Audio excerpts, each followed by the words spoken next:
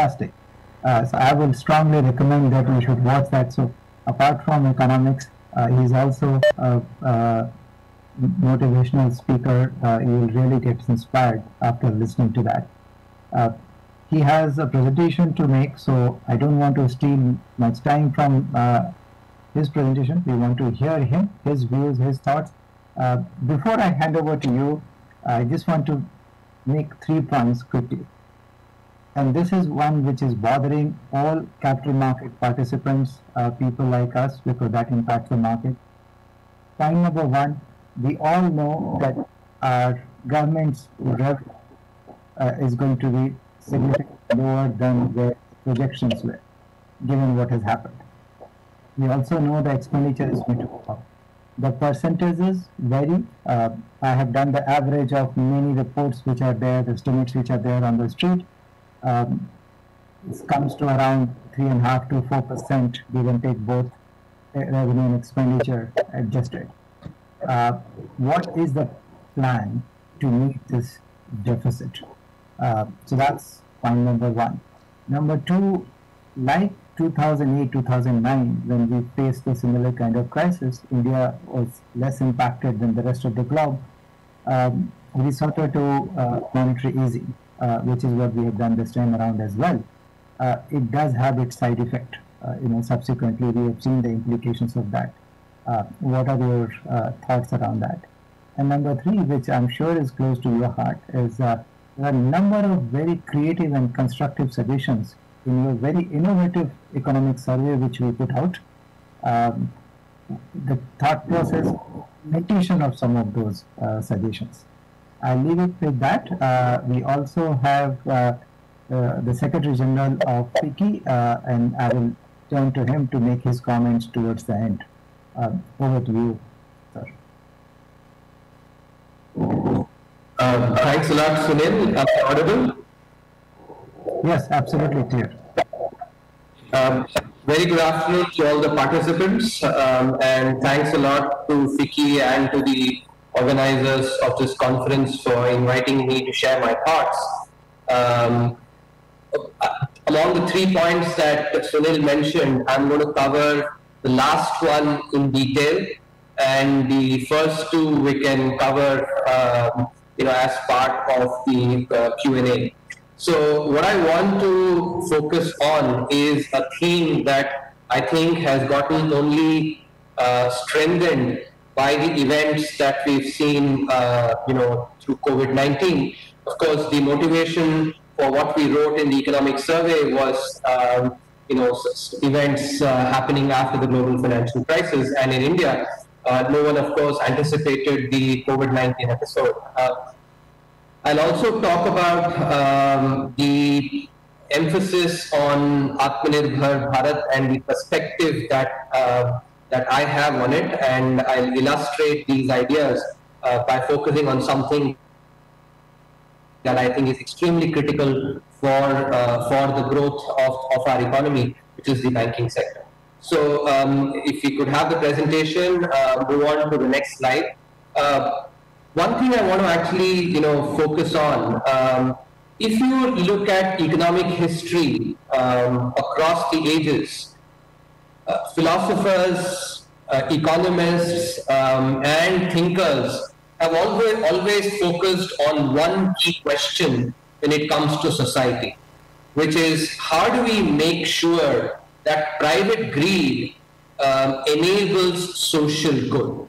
and that private greed does not damage, um, you know, create problems for, for social good. But how do we tap into private greed to ensure that that enhances social good?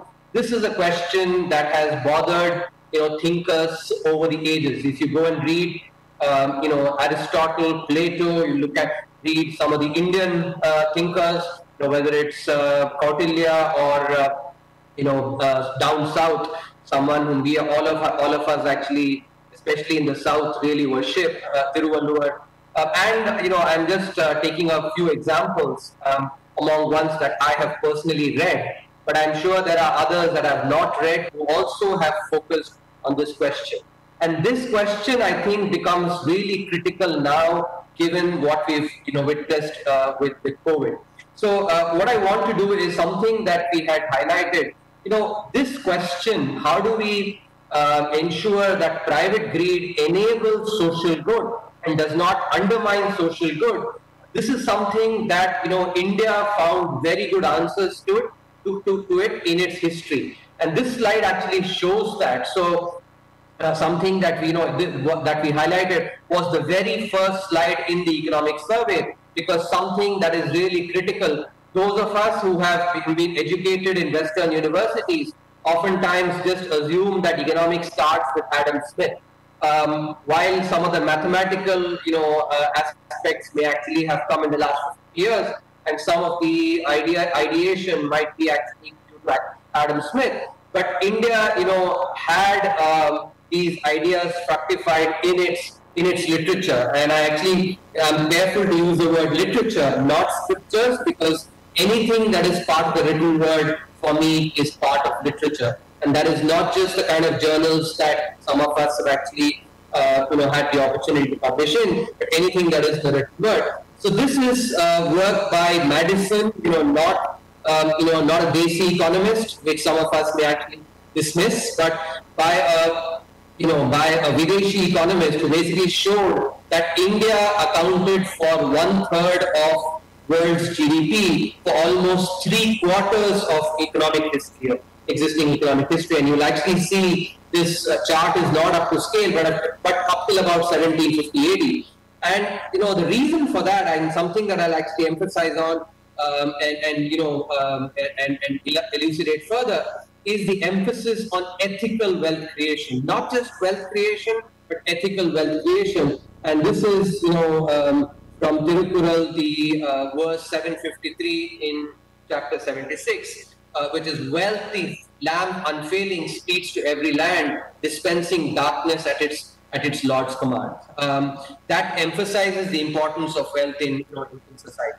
If we move on uh, to the next slide, uh, the idea that actually led to this dominance um, was actually a marriage of you know two things that is extremely critical you know for India to to to, to, to ahead, to ahead, which is that we cannot continue to undermine the market. You know, uh, in our uh, 50, first five first five decades, we did not adhere to the benefits that markets bring, and that's something that we are undoing. You know, since liberalization and a lot of the reforms, some of the ideas that that uh, uh, had mentioned also in the economic survey, which many of which have been implemented in the Atmanirbhar Bharat package, are about actually unleashing the power of markets. Um, but at the same time, what we also need to recognize is the role of trust. The reason being, you know, the COVID episode has highlighted beautifully that markets do not function well 100% of the times. Markets function well, you know, 90 to 95% of the time. There are periods like the global financial crisis, like you know, the COVID episode, when markets do not function. And that's when the role of trust in the economy, and when I say trust is actually is is a, is a very broad idea which brings in governance into it, something that, you know, economies that have done well have typically done by actually adhering to, you know, principles of good governance, which then engenders trust in the economy. So this is something that is captured, you know, again, um, as, I, as I was mentioning, while we all, you know, think about Adam Smith, Arthashastra actually, you know, many, many uh, centuries back wrote that the root of all wealth is economic activity and lack of it brings material distress. In the absence of fruitful economic activity, which is basically what we need now, both current prosperity and future growth are in danger of destruction. But at the same time, the role of trust, which is basically something that the COVID episode has highlighted. So take the words that I've, you know, that I've uh, uh, brought it to your attention. Wealth yields righteousness and joy. However, very important caveat the wealth acquired capably without causing any harm. I think those of us who would have uh, seen videos of the really clean Ganges during lockdown, um, of seeing you know the Himalayas from Punjab, um, would vouch for the you know for the last phrase, which is wealth acquired capably without causing any harm. So climate change and its ramifications and economic activity that respects climate change is actually captured by this very short phrase, phrase which is without causing any harm. Um, and that's a very important principle that we, I think, you know, um, uh, we have to learn. Uh, you know, unfortunately, we're having to face crises to be able to learn these things, which have been very much there in our, you know, in our heritage. And um, hopefully, at least going forward, we don't need to rely on a crisis to teach these some teach these essential principles for material prosperity, which is ethical wealth creation. Uh, so in this context, I want to speak about the you know emphasis on Atmanirbhar Bharat. If we move on to the next slide, um, Atmanirbharta, you know, uh, which is basically translates in uh, you know in English as self-reliance, has to be contrasted to self-sufficiency. Um, self-sufficiency is what we tried to do Uh, up until the 90s, you know, till you know, when, when we liberalized. We tried to basically isolate ourselves from the rest of the economies. Now, there's a big difference between self-sufficiency and self-reliance. What Atmanirbharta is focusing on is self-reliance. And here's where you know, it's really important to, to understand, as I said, that both COVID-19 and global financial crisis have highlighted the limitations of markets. Note the bullet that I put, you know, very carefully. Said markets don't work five to ten percent of the times. Only five to ten percent, not ninety percent. So in India, we've often made the mistake of thinking that markets don't work ninety percent of the times. Markets work 90 to 95 percent of the time very well. They do not work five to ten percent of the times. That's the nuanced point we have to remember. But these 5 to 10% of the times also highlight some of the potential vulnerabilities that countries face. And that's why self-reliance in, in some key areas is essential. But, and this is a very important point, that self-reliance cannot be built without cutting edge capabilities. Um, and capabilities themselves cannot be built without competition. So let me take, take an example. All of you, you know, the conference actually participants, I'm sure most of you are from Bombay. Um, you know, uh, I'm sure all of you actually know about the institution that all of us are really proud of, IIT Bombay. Uh, suppose IIT Bombay, and just a thought experiment, you know, IIT Bombay came up with this policy, and suppose, you know, it so happened, God forbid it ever will, uh, but suppose it so happened that the rich people in Bombay managed to convince IIT Bombay that you know it, it's only our kids that we, will basically get admitted to IIT Bombay. No JEE exam, nothing. You know, just basically you know uh, those kids in Bombay, those that can actually you know um, from the upper echelons get into IIT Bombay.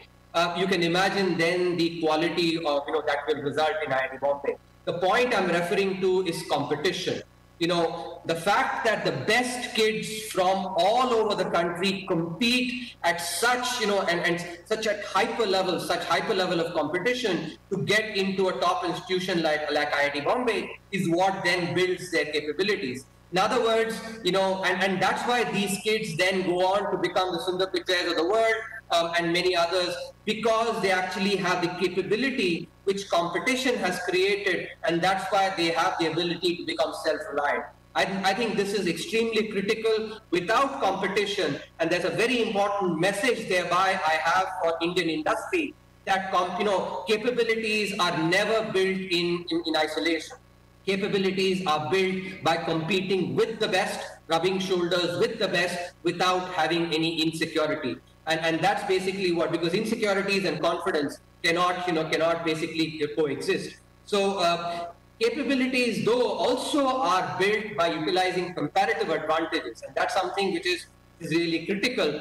Um, India's comparative advantage, and I hope you know the participants here will will will, will acknowledge that uh, India's comparative advantage lies in its large domestic market which so far, you know, despite people like uh, uh, C.K. Prahalad, you know, talking about the fortune at the bottom of the pyramid remains largely unutilized. Um, FMCG sector is an exception. Um, you know, FMCGs and the shampoo sachets are always talked about as, you know, kind of fortune that is that is at the bottom of the pyramid. But what is the, the lesson that, you know, um, a lot of lot of us can take away from there is that those at the bottom of the pyramid also want to avail products and services that are similar to those that are in the richest 25%, but their price points actually need to be you need to be better. For instance, they can't make the upfront payment for the entire you know a bottle of shampoo. That's why the shampoo sachet enables them to actually access the same product. So there is a message here which is, you know, because of the cash flow, the nature of cash flows at the bottom of the pyramid, now the same products and services made available to them you know, at, at, the, at, the, at the correct price points and maybe at the correct volume can make a difference because this is an important comparative advantage that our firms need to focus on. So far, the focus has been on, you know, those products and services that cater, primarily to the top 25%. Um, so there is an important opportunity. The scale economy, economy is a scale that, you know, catering to India's large market provides can enable our companies to craft their products and services and thereby, you know, and really refine it to be able to make it, you know, globally competitive. So this is also then very, very related to ensuring that that we basically compete with the best and and and you know become self-reliant and shed any inhibitions we have of being able to not compete. Another important point, actually, you know, uh, that that I would say, I'll again take the example of of IIT Bombay, there are very, very poor kids that come to IIT Bombay. These kids do not basically complain about X, Y, Z that they actually, the environmental, you know, factors that they may face as a, as a drawback. Instead, they just take it upon themselves to say, whatever drawbacks, you know, I have, I will surmount them with just my drive and my effort. There's an important lesson that people in Bombay, therefore, need to be learning from kids from you know in such institutions to not blame external factors and basically seize the the initiative and, and, and just work on you know on, on basically as as uh, Allama Iqbal said खुद ही कर बुलंद इतना कि हर तकदीर से पहले खुदा बंदे से खुद पूछे बोल तेरी रजा क्या है that's the spirit which basically IIT Bombay you know and and and the institution that we all are proud of actually um, should should imbibe in India Incorporated and the kids there, actually, I, I would urge some of you to actually go and talk to the, the brimming confidence that these kids exhibit. Say we can conquer the world is something that India Inc. can, can, can learn from. What I want to now do is actually just take one example of where we really need to implement this Atmanirbharta, where we need to shed our inhibitions, go and take risks and really expand, and that is in the banking sector. So um, let, let, if you move on to the next slide. This is something that we highlighted in the last in this economic survey that, a, that the current slowdown, a large part of it is because of the problems in the banking sector. One can you know talk about other impacts, but what we showed using very careful evidence is that the problems in the banking sector, the NPAs and the risk aversion and the decline in corporate lending then had an impact on investment. Uh, the impact of the, the decline in investment slowed down growth with a lag and the slowdown in growth then actually has had an impact on consumption. In other words, we basically are, have been caught in this chakravyuh now, which is induced by the banking sector that lowering of investment has lowered growth, that has lowered consumption by you know, lowering disposable income, and thereby because of lower consumption, anticipation of lower consumption, investment is down, and so on. We basically are in this in this cycle, caught in this chakravyuh. So, you know, the, because the banking sector has been an important, uh, you know, and, and in every economy, banking sector becomes is a very important part. We really need to be focusing on making this, you know, the scale of in any other global economy and the capabilities of any other global economy. And that's what I want to focus on because it's so critical for, for, for economic growth. Uh, if we move on to the next slide. This slide actually shows where we are and where we need to go. Uh, every economy, if you take Japan, you know, in the 1980s in its heyday, Japan had about, you know, close to 18 or 19 banks in the top 25. The top 25 banks globally, of that 25 banks were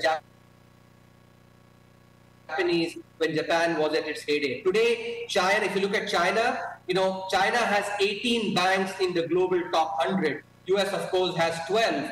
In other words, you know, any economy that is uh, that is sizable enough has been built only when the banking sector itself has large banks.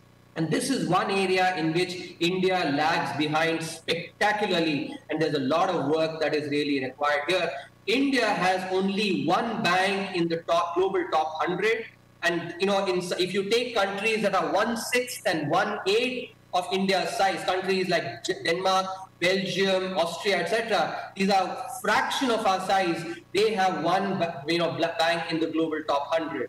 Uh, countries that are similarly one sixth, one eighth of our sizes, like Switzerland, Sweden, etc., Singapore, they have actually far more banks than we do. So in other words, by far the most important aspect for our economic growth is the banking sector because we have actually in the banking sector both a scale problem and a quality problem which is you know when we try to achieve scale we actually do not end up doing lending in the right way because banking sector is also about allocating capital to the really good quality projects projects and that, both of these are extremely important and what i'm going to emphasize is after actually convincing you that this is something banking sector in India needs to be global scale, and that's something where technology can play a very important role.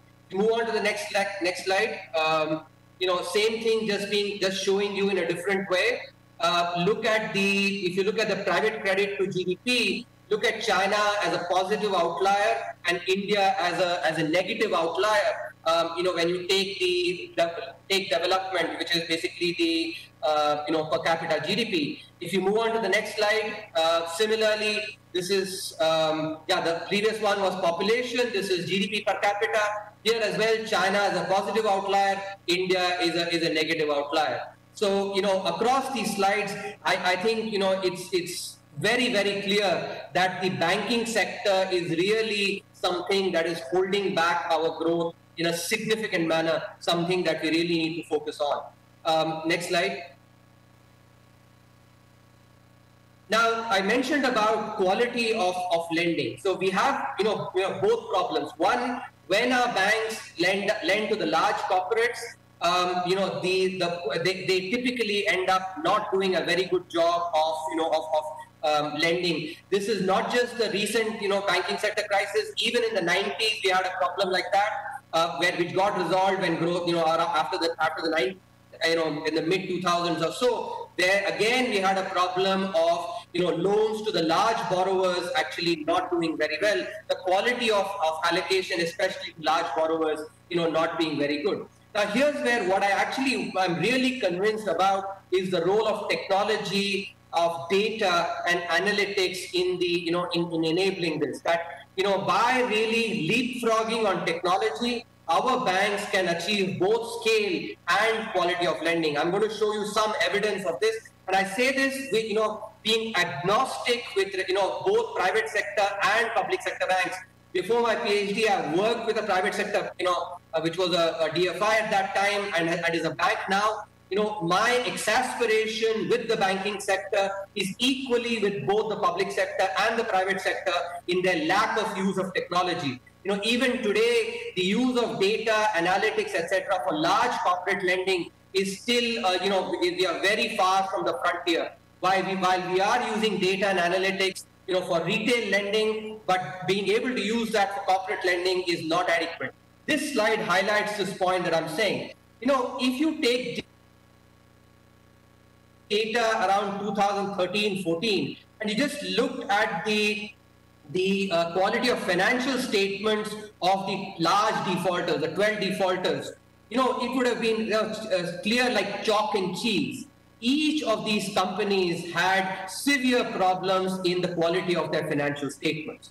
Now, this is something that, you know, and having done banking myself, the quality of the financial statement is the first check that a banker is supposed to do. And here, data can really help. If you look at you know, defaults in repayment of borrowings, insufficient provisioning or impairment of loss, non-compliance to provisions of the Companies Act, a bunch of you know bunch of stuff all of which could have data could have easily pointed out and yet you know, we basically did not use enough data at least this round i hope the banks can learn the lesson use data to be able to actually achieve both scale and quality of lending. Move on to the next slide.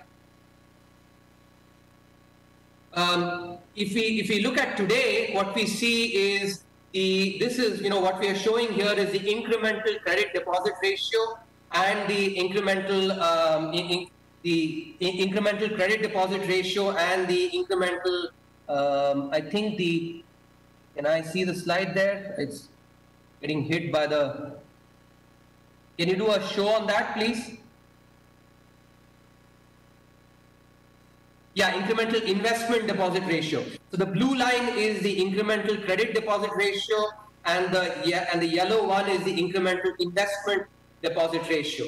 And what you see is, you know, last year around this time, you know, every 100 rupees of credit that came in, you know, uh, the amount of, of, of, uh, of 100 rupees of deposit that came deposit that came in. Banks actually gave about 50 rupees less of credit. So 100 rupees came in they basically shrunk credit by about 150 rupees you know in the last year. Same phenomenon we are seeing you know over the during the lockdown. Though um, you know on the emergency um, you know credit scheme of the that's that was part of the Atmanirbhar Bharat banks are doing a very good job. So far about 1.3 lakh crores of credit has been sanctioned. But overall, if we look at, we basically see that the you know the deposit that is coming in is actually getting invested a lot lot more and you know all of you would know about how money is being put in reverse reverse repo operation to the RBI and you know when this could have been actually lent out so this is uh, the the scale problem the risk aversion problem and the quality of of allocation of bank you know, of, of uh, bank loans. All of these really need to be focused on, and I think technology is something that can play a very important role. I'm not, you know, this is not to, to deny some of the other roles that, you know, of, of governance and uh, other aspects, but I want to emphasize on, on technology. We move on to the next slide. This, this is a study that was done for, for banks, you know, before the global financial crisis. And, and what it shows actually on your left panel is the median NPAs of those banks that were low in IT adoption versus those that were high in IT adoption. The red one is basically those that are low, and the blue, you know, is those that were high IT adoption. The right one is basically the share of loans that was basically scaled by pre-global financial crisis assets. So the right slide captures, right, right chart captures scale, the left chart captures, captures, you know, the quality of lending. What you notice is just simple IT adoption actually enabled both scale and quality of lending. There's a very, very important lesson herein for our banks, independent of whether they are private sector or public sector. While the private sector banks have actually focused on using IT for retail, use for corporate lending actually has been very, very low. In fact, some banks have actually decided, you know, maybe, uh, you know, have not developed the capabilities and therefore have decided to stay away from, from corporate lending altogether. And, and this is something, there is an opportunity to use technology, data, analytics to be able to, you know, to, to do this. So the idea that we, you know, pushed on in, you know, for the economic survey was the use of fintech. Um, we move on to the next slide. So, you know, here, before I move on to this slide, I will relate uh, something, you know, that I had the opportunity of. When I did my BTech, uh, BTech thesis, so those of us, you know, in the fourth year, we have to write a thesis. So this is more than, you know, uh, many years, more than two decades back. At that time, I remember actually, you know, working on the application of neural networks for electrical engineering problems. Um, in other words, you know, neural networks, which is basically was the precursor to artificial intelligence, was, you know, it was was being used in research about two and a half decades back. Uh, today, of course, you know, neural networks and many other machine learning, a lot of other algorithms have really made huge headway. The reason I brought up this personal anecdote is to say that despite some of these being in existence for 25 years, you know, our banks have not looked to utilize this. And the reason I actually bring this up is many of you would have, you know, those of you who are interested in chess would know how the, you know, the, the, the uh, deep thought, which was basically created using, you know, artificial intelligence and machine learning. And by the way, remember that, you know, deep thought was not even given the rules of chess. It was just fed chess games the you know in, in the in the chess coded methodology It learned the rules of the you know of the game and learned strategy, tactics, etc. to defeat the highest elo rated player ever, Garry Kasparov. Now, compared to the strategy and tactics that are applicable in chess, the strategy and tactics that a willful defaulter may be using is is kiddish, you know, and, and I, I, can say this based on research that I basically and my interest in chess. So I'll emphasize again the strategy and tactics used by willful defaulters are far far less complicated than what is required for chess, you know, and in strategy and tactics. The point here being that if AI and ML can actually help, you know, uh, defeat a Garry Kasparov, then you know a far simpler version of deep thought can really help even defeat willful default. And that's the key idea that our, that our banks should be focused should be focusing on. You know, for instance, public sector, we could do this using the public sector banking network by pooling in data, but even private sector banks can actually look to utilize, you know, a lot of the data sources that are coming in, you know, and transaction level data and others to both you know infer not only the willingness, not only the ability to repay, but the willingness to repay as well. Today, there is enough research even capturing the, willingness to repay, you know, of, of borrowers, and, and which is basically one key thing that distinguishes between willful defaulters and distressed defaulters, it is the willingness to repay. And data today can be utilized to actually to, to, to you know, uh, so so banks can utilize some of this to be able to get into large corporate lending, especially those banks that have enjoyed success, you know, in using data and analytics in retail lending. They should be thinking about using some of this for large corporate lending as well, because you know, without the use of fintech, you know, we will not get the scale and the you know and the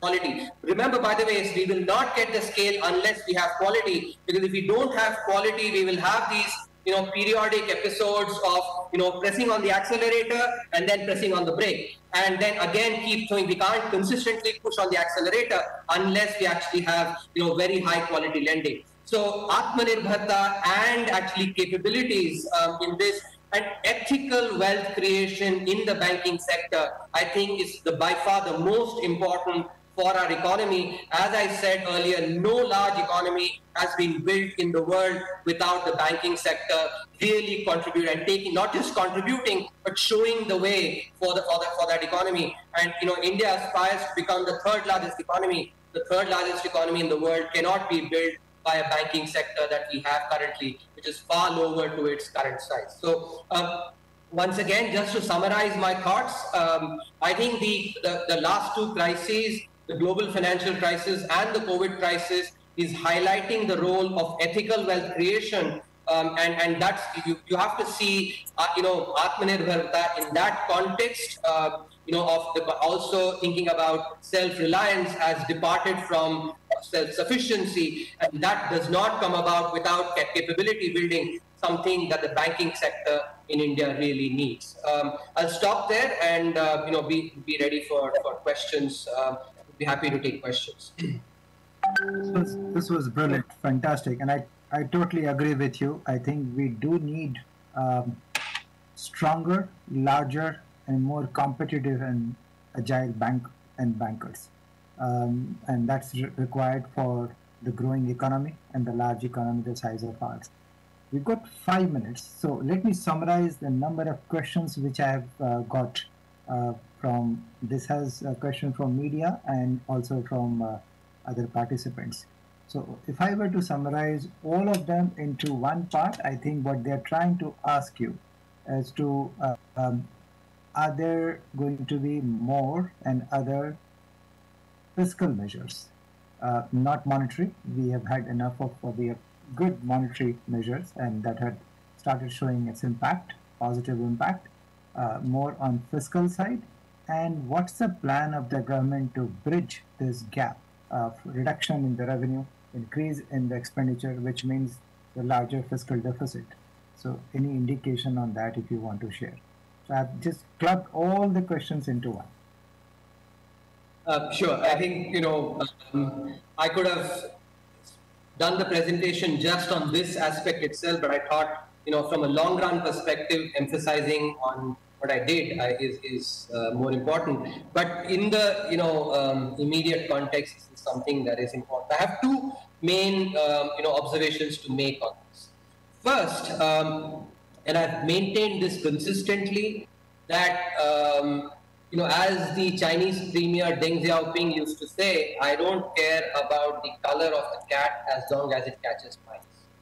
What do I mean by this? You know, just just just take the GDP formula, which is you know if you use the expenditure approach, you know y GDP is equal to C plus I plus G plus X minus M, which is consumption plus investment plus government spending plus net exports.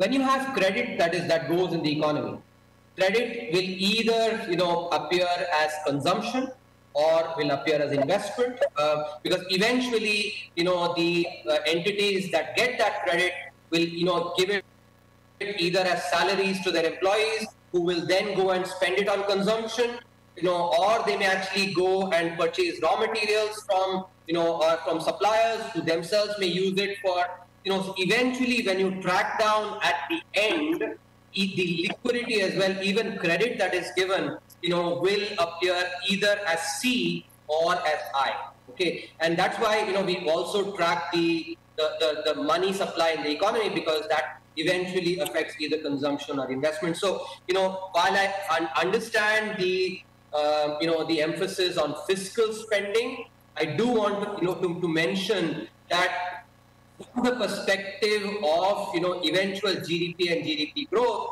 you know, what we care is the combination of all these, these four parts, C, I, G, and X minus M. The fiscal question just focuses then on the contribution of G to this entire, you know, um, now here again, another, another key point that I've been emphasizing, and I think now we're starting to see some good signs is, you know, the role of uncertainty in the, you know, in the, in, in, in this um, which is, and, and you know, Joseph Stiglitz wrote about this as well. Um, if you look at the PMJDY spending too, this you know captures the point that I'm going to make, which is the impact of uncertainty on demand, especially demand for discretionary items. So um, I, you know, I will emphasize again that the government will be willing to, you know, is willing to actually do what is necessary in terms of government consumption. But the timing of this is extremely important.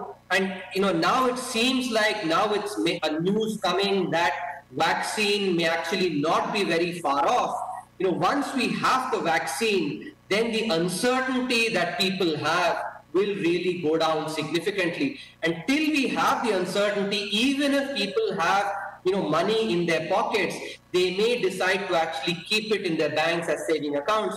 And that's what I, I was referring to as the increase the PMJDY balances by about 20,000 crores. It's important because, you know, the PMJDY accounts are typically those accounts where the marginal propensity to consume is very high, almost close to one.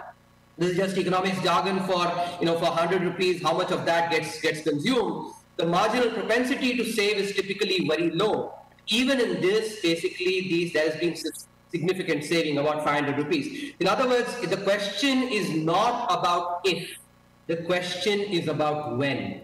Uh, and and the, I think the right point would be if some of these, what we are seeing, the vaccines, etc., really come through in the next few months, let's say, and thereby the uncertainty goes down, I think the time would be very right for, for there to be this then a fiscal push, which will really generate the demand even for discretionary items. And this Chakravyuh that I mentioned earlier, you know, one of the trigger there, and I do clearly recognize to get out of that Chakravyuh, demand is important. You know, I'm not going to deny that at all. You know, uh, counter-cyclical fiscal policy is important, but the timing is also as important to ensure that the bang for the buck is maximized. Um, so uh, I'm very, very sympathetic to the question. At the same time, I hope you know you're able to see actually the intellectual arguments on which you know I'm actually talking about the need for focusing on when and it not about if. Thank you. We will just uh, for Thank you, Dr. Subramanian, uh, for uh, that excellent, uh, you know, presentation focusing on ethical wealth creation trust, um, and of course the important thing of cutting edge of competition with your IIT example and the using of technology to improve the scale, uh, quality, and, and actually uh, the whole system of, of, of, the banking.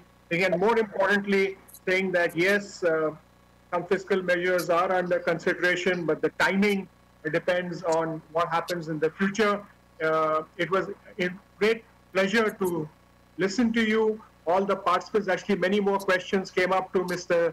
Sanghai. He just summarized them brilliantly in one question. Uh, thank you for your presence, participation. As always, you stimulate, have stimulated a lot of thinking and created an action uh, for the future. Uh, thank you for joining us this afternoon. Thank you, Mr. Sanghai, for chairing it. And thank you, Jyoti and Abha, for putting this together. And thank you. And we conclude this session now, and we will go on to the next session very, very shortly. Thank you. Stay well, stay safe.